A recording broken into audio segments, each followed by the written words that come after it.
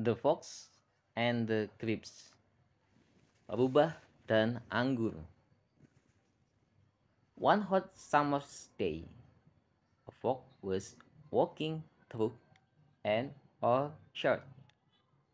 Suatu hari, musim panas yang panas, seekor rubah sedang berjalan melalui kebun buah-buahan. He came across a bunch of grapes, juice, grapes hanging from a vine high above him.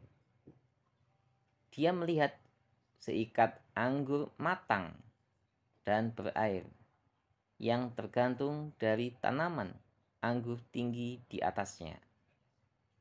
His mouth watered and he looked at the delicious grapes and he want to eat them. Mulutnya berair ketika dia melihat anggur yang lezat itu dan dia ingin memakannya. The fox jumps up, trying to reach the grapes, but they were too high.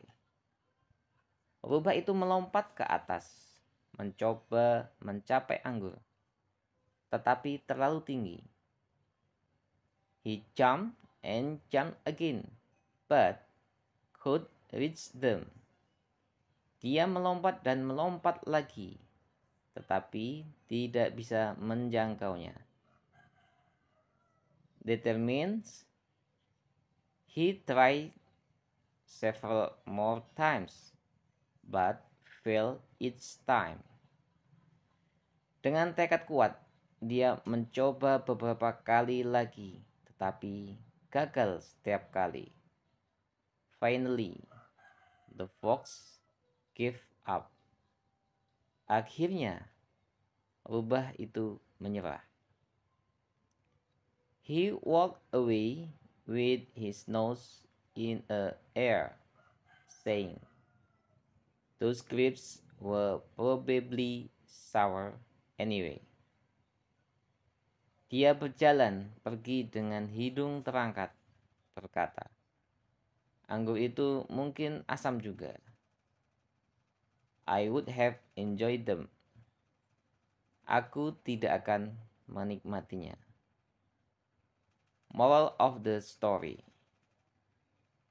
It's easy to despise what you cannot have. Pesan dari cerita ini mudah merendahkan apa yang tidak bisa kamu miliki.